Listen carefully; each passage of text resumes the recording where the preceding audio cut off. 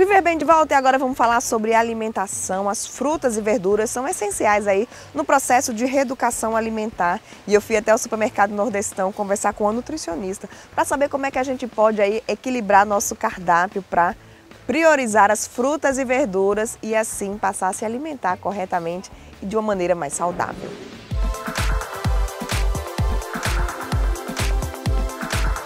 Se você está aí num processo de reeducação alimentar, o setor de hortifruti é parada obrigatória todas as vezes que você vier ao supermercado. E foi exatamente para isso, para a gente falar sobre esse assunto, que eu convidei a nutricionista Naíma Martins, aqui do Nordestão, para a gente falar sobre a importância das frutas, legumes e verduras nesse processo aí de reeducação alimentar, né, Naíma? Não dá para ficar sem consumir esses alimentos. Não, de maneira nenhuma. Esses alimentos são de fundamental importância para quem está num processo de reeducação alimentar. Né? Eles compõem o prato, é, devem compor 50% do prato né, de quem está nesse processo né, e do, das, dos indivíduos saudáveis.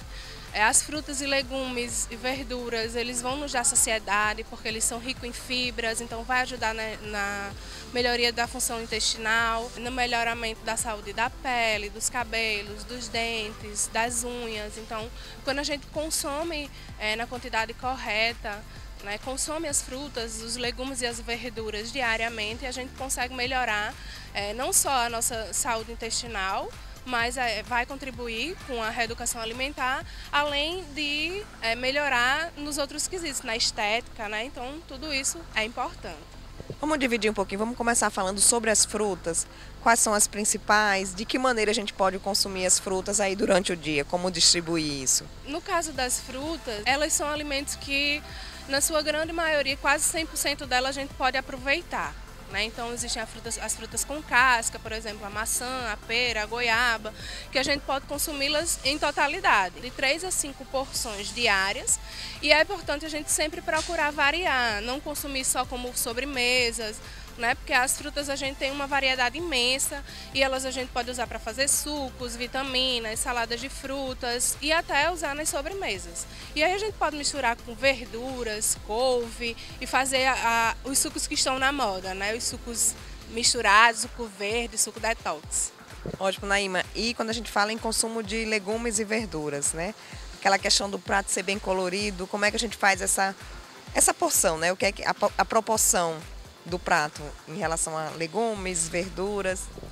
É, com relação aos legumes e verduras, a, na grande maioria a gente não precisa ter restrição em quantidade, né? A gente costuma dizer que esses alimentos eles podem ser consumidos livremente. Mas alguns é, legumes cozidos a gente tem que ter cautela, né? Até porque é, legumes e verduras eles também são calóricos, além, mas eles ajudam muito mais no processo de emagrecimento e de reeducação alimentar. Então a gente deve consumir é, 50% do prato deve ser composto por legumes e verduras. Né? E aí o resto a gente coloca os carboidratos e as proteínas. Sempre também procurar variar, não colocar só alface e tomate todos os dias, procurar botar uma cenoura, beterraba, rúcula. É, pode também misturar frutas para formar aquele agridoce. É, as frutas e verduras a gente pode brincar de diversas formas e quando a gente mistura elas, fica excelente. Naima, agora quando a gente fala em frutas, verduras e legumes, são alimentos que a gente consome cru, são crus, né, em sua grande maioria. A questão da higienização, como é que deve ser feita para que não termine, né, prejudicando a saúde de quem consumir sem ter esse processo de higienização correta. Claro, é, como esses alimentos são consumidos crus, é importante a gente ter uma atenção redobrada com relação à higienização. Né? Então, de que forma a gente faz essa higienização? Primeiro, a gente vai selecionar as frutas, os legumes e as verduras. Né? Após selecionar, é importante a gente lavar em água corrente para a gente retirar resíduos de terra, areia, poeira. Né? É, vale ressaltar nos folhosos que a gente deve lavar folha a folha, os frutos também devem ser lavados fruto a fruto. Os folhosos é importante a gente friccionar para tirar ovos de parasitas que possam estar ali.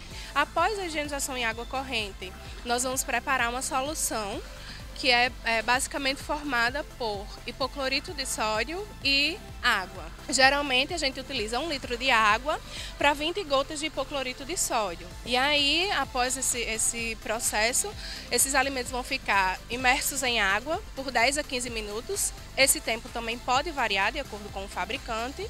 E aí, após esse, esse tempo, de 10 a 15 minutos, a gente enxágua em água corrente novamente e esses produtos estão é, prontos para serem consumidos. Naima, muito obrigada. Tá aí várias dicas importantes para você. Interessante também começar a incentivar esse consumo de frutas, legumes e verduras nas crianças também. Tá todo mundo de férias, então aproveita aí para variar, fazer aquela salada, colocar a criançada na cozinha e distribuir saúde em forma de alimento para elas também.